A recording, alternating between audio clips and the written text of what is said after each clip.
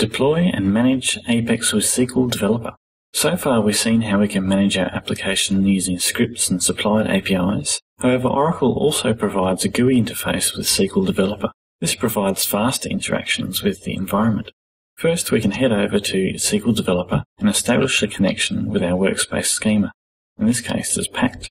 We can use this connection navigator to find the application express node, which is here, and we can use this to view the metadata of our applications. So there's our Pact 7 child application. These are the application properties. I can open this tab up and see the pages. Across here I can also have a look at what computations and other components may exist within my application.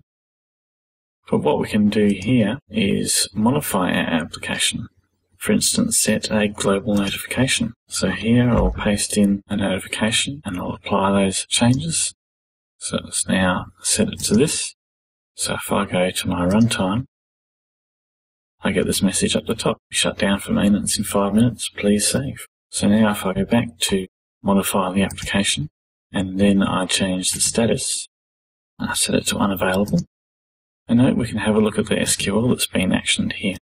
So it's defining an autonomous transaction that's going to set some context and then set the status of this particular application ID to be unavailable. So if I apply that, it's been changed. If I go to refresh my page, it's now unavailable. And we can customize this message as well. So we've been able to control access from of our applications not via the browser, but directly using the interface provided to us using SQL Developer. These features provide us with a quick mechanism to control access during the deployment of new versions of our application, and we can also use it to configure the Apex listener.